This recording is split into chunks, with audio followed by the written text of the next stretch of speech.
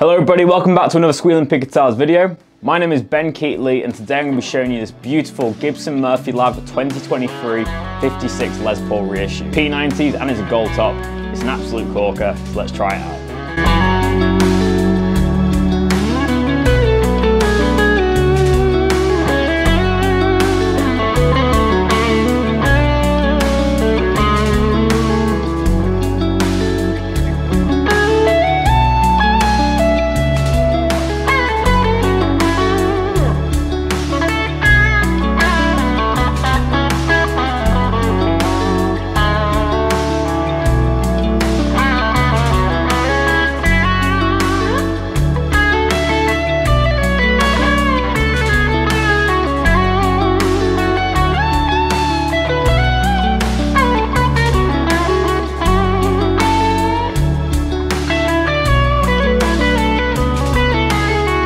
Hello there everybody, I hope you're all having a great day. Um, as I said in the start of today's video, we've got a very special guitar for you today. Uh, we're going to be checking out this stunning Gibson custom shop Murphy Lab. Um, this is a 56 reissue um, from 2023, so it's very new.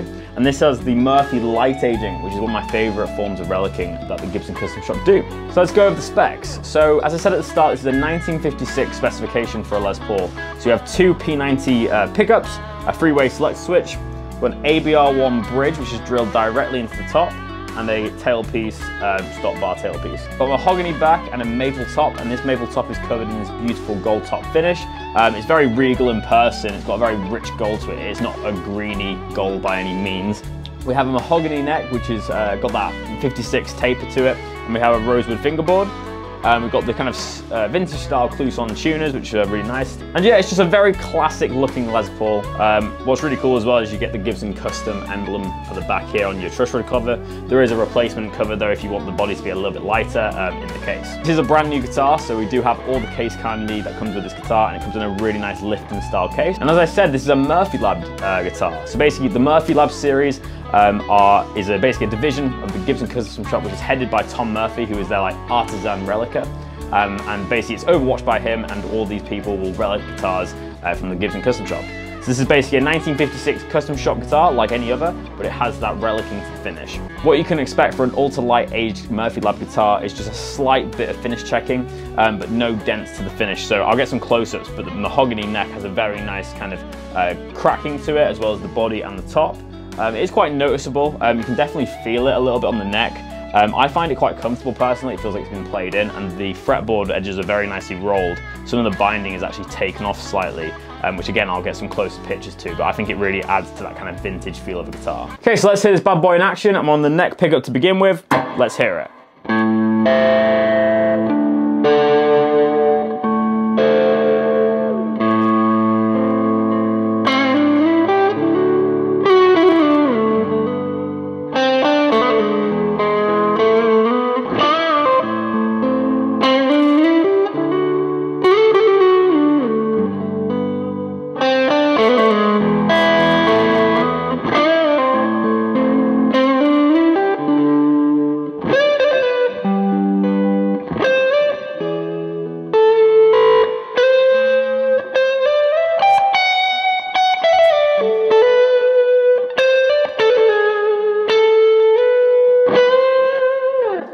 Beautiful tone on that neck pickup there. Um, what I love about P90s is even on the distortion tone, they have a nice balance to them. So they have a lot of treble because they are basically overwound single coils at the end of the day. Um, but they have that ballsiness from a humbucker. It's kind of like the perfect middle ground between a single coil and a humbucker. Um, very, very dynamic. Let's hear the bridge pickup now again with that kind of more slightly distorted tone.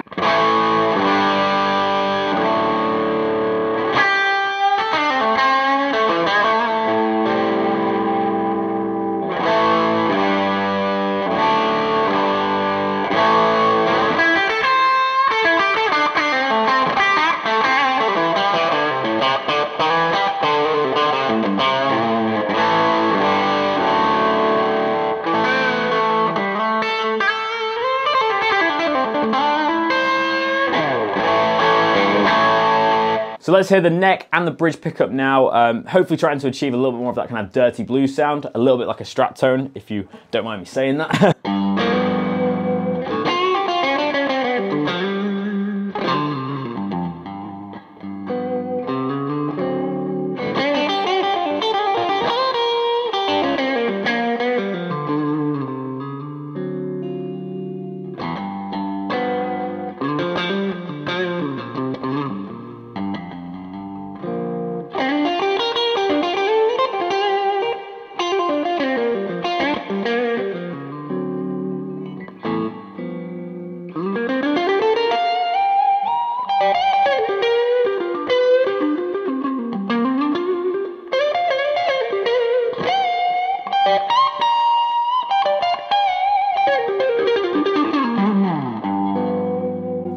that's my favorite tone so far. Very balanced, and um, obviously from a Gibson man, that sounds a little bit like a Strat to me, but I'm aware it has a lot more bass end.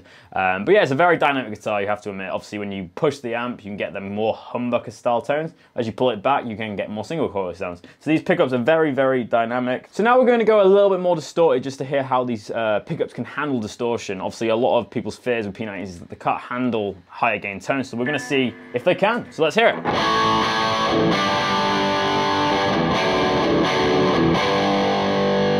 Thank you.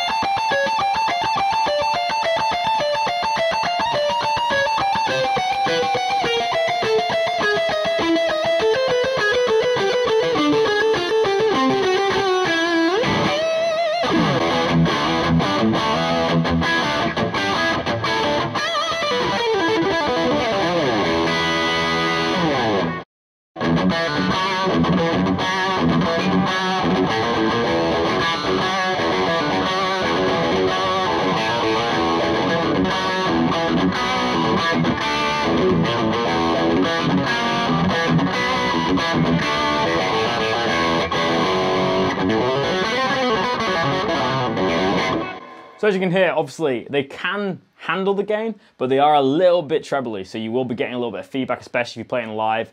Um, in today's demo, we're actually playing this Marshall Silver Jubilee at about half volume, so it's very loud in this room, and there is a little bit of feedback, but you'll expect that from it. So let's hear some clean tones, starting on the neck pickup.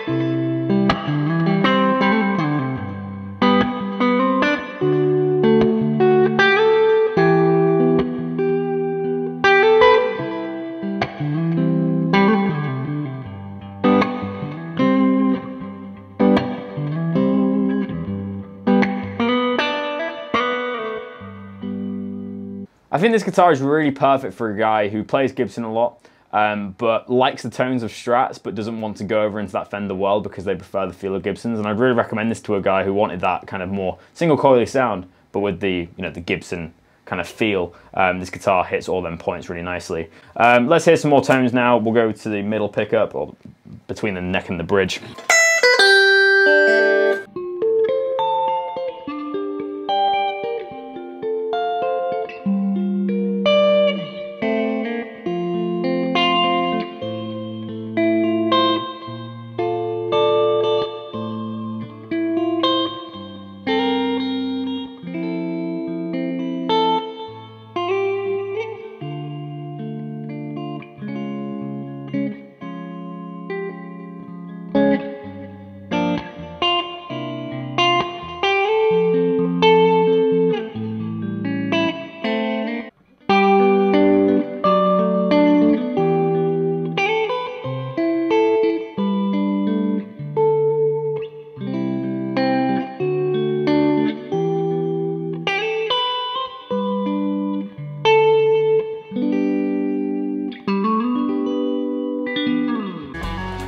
So guys, thank you for watching today's video. I've really enjoyed making this one. This is a stunning piece. My final thoughts are, is it's one of the most resonant guitars I've ever played. Um, I really like the versatility with the P90s from distortion to clean tones. Especially for the styles I play, I find it's a very well suited guitar for me.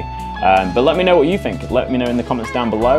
Uh, make sure to like and subscribe, most importantly. And I guess I'll see you in the next one. But thank you for watching today's video. I really appreciate it. I'll catch you guys soon. Cheers guys, see you soon.